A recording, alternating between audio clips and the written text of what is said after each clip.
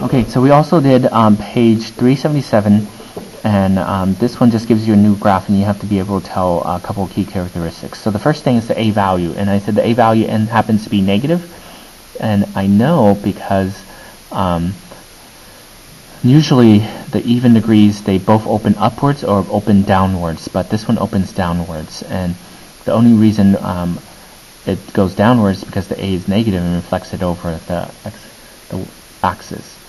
The degree, again, is even because they're opening, um, they're both going down. The end behaviors are both going down, so that indicates that it is even. Even means their uh, end behaviors are both going down and both going up, but this one's both going down. This is an example of the odd, um, when one goes down and one goes up, the end behaviors, or when one goes up or one goes down. Okay, can this be a six degree polynomial function? Explain why or why not. Um, I said yes, because a sixth degree can have at most 6 minus 1 turning points. And when you look at the turning points, 1, 2, 3, 4, 5, there's actually 5 turning points. So this could be a sixth degree. Um, it could actually be like an 8th degree, a 10th degree, any degree, even degree higher than 6 will satisfy um, this. The domain happens to be negative infinity to infinity. Um, the range actually is negative infinity to 2.4 or so. So when you look at the graph, uh, you're coming from down upwards, and that's the highest peak. So you kind of give that statement as um, negative infinity to 2.4.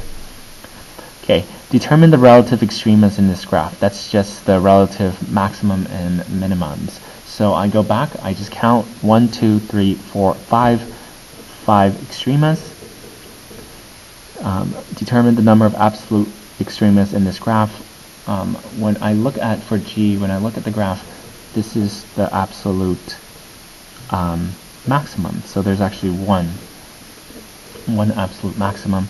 Um, state the interval of increasing and decreasing. So, well actually no, de just decreasing. So I'm going to look at my graph and I'm going to state all the decreasing from here to here, here to there, and here to there. But I'm going to state the x intervals. So the x interval um, it looks like it's about 2.5 negative to the stopping point here, which is about 1.5 negative. And then here, it's about like 0.3 to about 2.